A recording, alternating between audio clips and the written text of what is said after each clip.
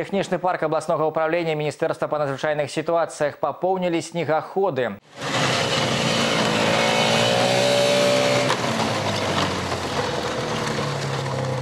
Новыя машыны з санямі для эвакуацыі людзей былі набыты за кошт рэспубліканскага бюджэту. Снегаход можа развіваць хуткасць да 100 кіламетраў за гадзіну. Сані чатырохмясцовая з каркасным модулем на прычэпе. Адна з двух машын будзе дапамагаць у выратаванні людзей у хойніцкім, наралянскім і брагінскім раёнах. Другая застанецца ў гомеле. Пры надзвычайных сітуацыях у іншых раёнах вобласці тэхніку змогуць аператыўна транспартаваць.